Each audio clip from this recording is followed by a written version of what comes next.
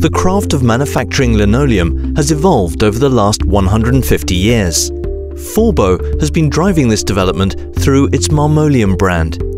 In our eyes, making marmoleum is an art which is not learned at any trade or school. In fact, only a handful of people have the skill to make linoleum. Let's have a look together.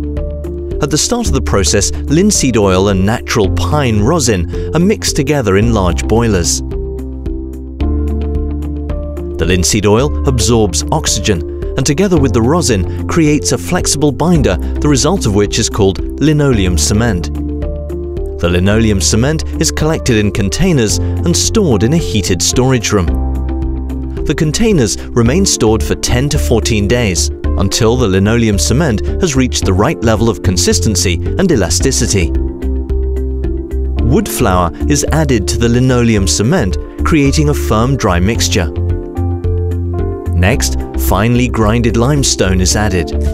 Together with color pigments, they are blended to achieve a firm, homogeneous mass. The colored linoleum mixture is now shredded in various stages, as it is being transported to storage lofts in preparation for the final mixing stage, and creating beds of different colors of linoleum granules. One bed produces approximately 15 rolls of linoleum. Every bed has a composition of 2 till 8 colors. The linoleum granules are now ready for their final mixing process. The mixed material is coming down by conveyor belts. The granules mixture of several colors is calendered into a 1 meter white sheet. A rotating knife and a special blade cuts the sheet into 2 meter wide slabs, each with a special curved edge. The linoleum slabs are then picked up, turned and laid down on a conveyor belt overlapping like roof tiles. At the other end of the line, a large roll of jute material is prepared. The fine jute mesh is guided through the line to meet up with the linoleum, where it will serve as a backing material. The jute mesh and the linoleum slabs merge in front of a large calender.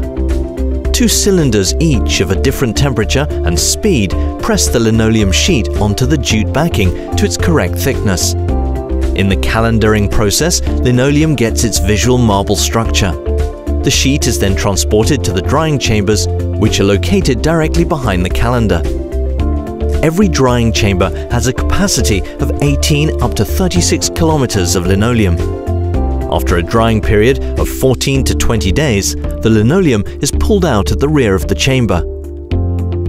The linoleum now is in its final stages of production as it receives its finishing treatment. A specially developed finish is applied in two layers, a primer and finishing layers. Both are UV cured and provide lifelong protection to the linoleum sheet. After the finish layers are applied, every linear meter is inspected and released for packaging.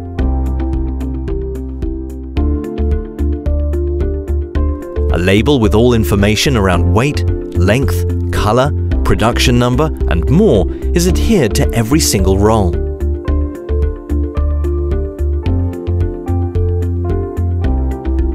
The roll is placed on a conveyor belt system which brings each linoleum roll to a central warehouse.